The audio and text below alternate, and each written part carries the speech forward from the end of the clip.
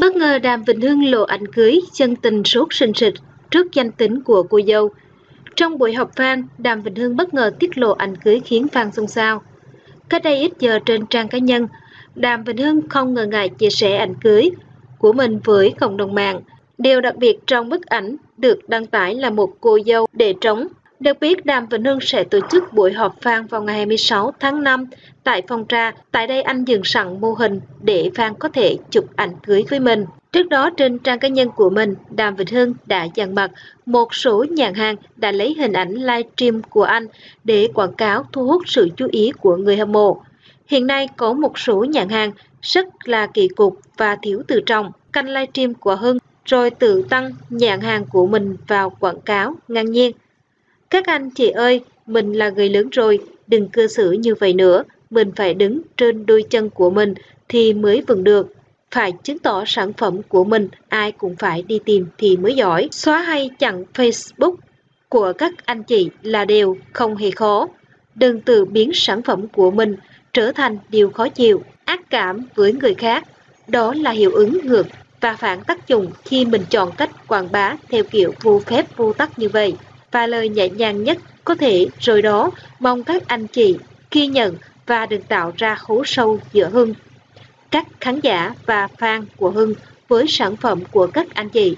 Đàm Vĩnh Hưng viết Đàm Vĩnh Hưng tham gia sinh hoạt văn nghệ từ câu lạc bộ ca sĩ trẻ tại Trung tâm Văn hóa quận 10 từ năm 91. Sau khi đoạt giải nhất cuộc thi tuyển dòng ca trẻ do Công ty Văn hóa quận 10 tổ chức tại công viên Hồ Kỳ Hoa năm 1992, Đàm Vĩnh Hưng chính thức đi vào con đường ca hát chuyên nghiệp. Anh đã tự học đàn, tự nghiên cứu tài liệu để được làm quen với ký xương âm và cả phong cách biểu diễn. Năm 98, sau 8 lần đi thi, Đàm Vĩnh Hưng đoạt giải tư tiếng hát truyền hình thành phố Hồ Chí Minh, lúc đó là một cuộc thi ca nhạc uy tín và chất lượng.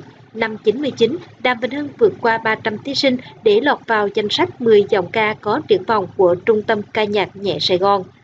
Đàm Vĩnh Hưng đoạt giải nhất trong cuộc bình chọn giọng ca xuất sắc do câu lạc bộ bạn trẻ chiều thứ năm của nhà hát Bến Thành tổ chức từ tháng 9 2000 đến tháng 9 2001. Đây là một cuộc mốc đầu tiên cho sự nghiệp của Đàm Vĩnh Hưng cùng với hai ca khúc Tình ơi xin ngủ yên và Bình minh sẽ mang em đi đã được dư luận yêu thích và chú ý trở thành cột mốc đáng nhớ khởi đầu sự nghiệp ca hát. Thời kỳ đầu, anh được cho là giọng hát khang như ca sĩ hải ngoại đồng hồ, đã nổi tiếng trước đó và hát nhạc trẻ với cách hát gần giọng cuối câu. Thời gian sau, anh chọn nhạc tiền chiến, trừ tinh và nhạc vàng để thể hiện. Hiện nay ngoài việc đi hát Đàm Vĩnh Hưng còn có một công ty giải trí, một quán ăn, một số thương hiệu sản phẩm như cháo ăn liền, hải sản và làm giám khảo một số chương trình truyền hình.